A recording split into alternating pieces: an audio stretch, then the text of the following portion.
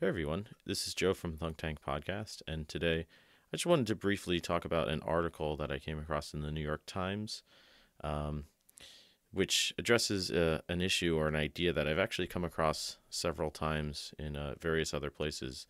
And um, of course, as you can see here, this was an interview with none other than George R. R. Martin, the author of the very now famous series, uh, TV series Game of Thrones. Well, he's the author of the books, of course, but um, yeah, I thought this was a really interesting interview, and uh, particularly because he raises or he addresses one topic that I've noticed has come up in the past. He actually George R. R. Martin will uh, respond to fans uh, fairly regularly. Uh, he still has a LiveJournal account for those of us old enough to um, remember that and um, he uh, he responds to some fan theories and fan questions, which I think is quite uh, quite interesting sometimes in terms of the insight that he's able to give, um, but also he uh, is you know able to talk about some of the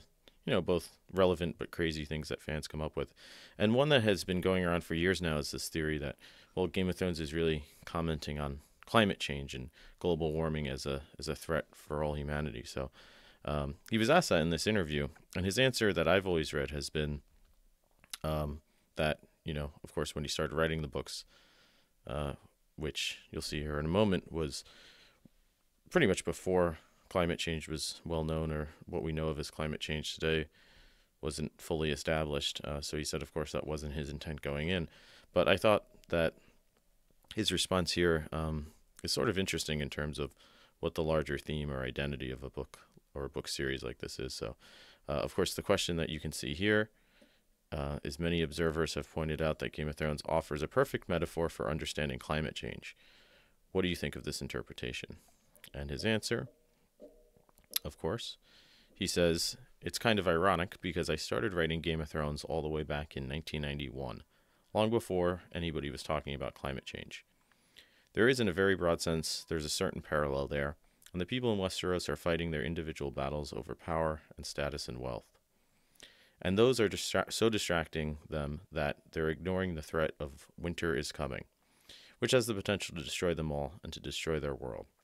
And there is a great parallel there, too, I think, what we see this planet doing here, where we're fighting our own battles. We're fighting over issues, important issues, mind you, foreign policy, domestic policy, civil rights, social responsibility, social justice.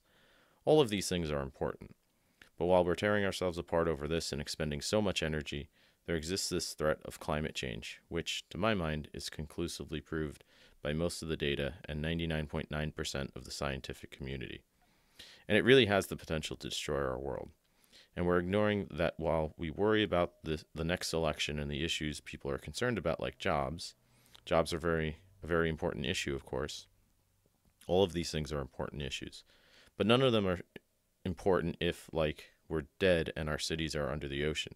So, really, climate change should be the number one priority for any politician who is capable of looking past the next election.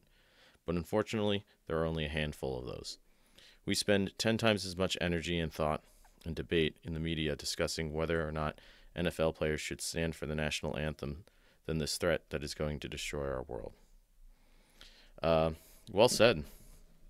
I think that really sums up kind of what I've always thought that the series um, was about in terms of the the nature of what we're ignoring or what we're ignorant of in terms of a larger uh, global scale issue like uh, climate change, which of course can destroy us all, and that lead led me or that has led me in the past to, you know, really kind of point out that I think Game of Thrones is about this idea called tragedy of the commons, which I'll link in the description. It's a lot to get into now, but essentially it's this um, social science idea. I hate to use Wikipedia; my students would kill me, but this is a pretty good summary for a brief video, actually.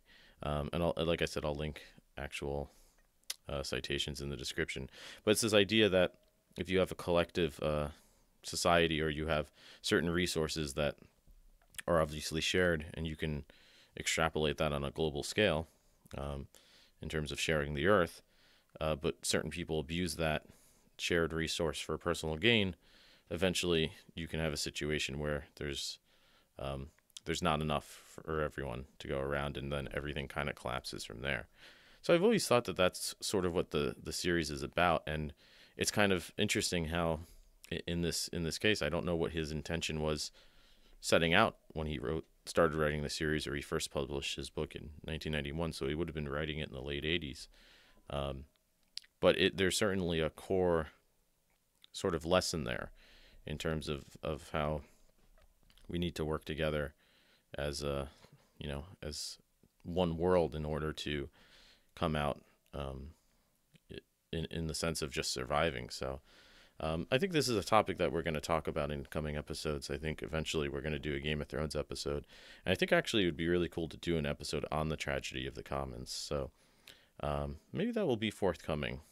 Um, anyways, I just wanted to briefly touch upon that for any Game of Thrones fans out there. Um, would love to know what you think in terms of uh, what the, the series is about to you and um, and how this lesson I think is is very relevant uh, the more and more we get close to the, uh, of course, doom that seems that like we're headed towards, as Martin t- points out, with with climate change and kind of our collective ignorance of it. Um, you know, we kind of know this throughout history. Uh, a pressing issue that, that doesn't affect everyone or each person personally can kind of go by the wayside and be ignored till it's too late. And I think you're seeing that now with climate change. So I'm glad Martin has finally admitted that. Uh, oh, look at that! His book uh, happened to indirectly be about climate change. So maybe he'll talk more about that in the uh, the future. Happy coincidence, I guess, uh, except for the world ending. But, anyways, that's all I wanted to share right now. Um, other than that, thanks for listening, um, and we'll see you next time. Take care. Bye bye.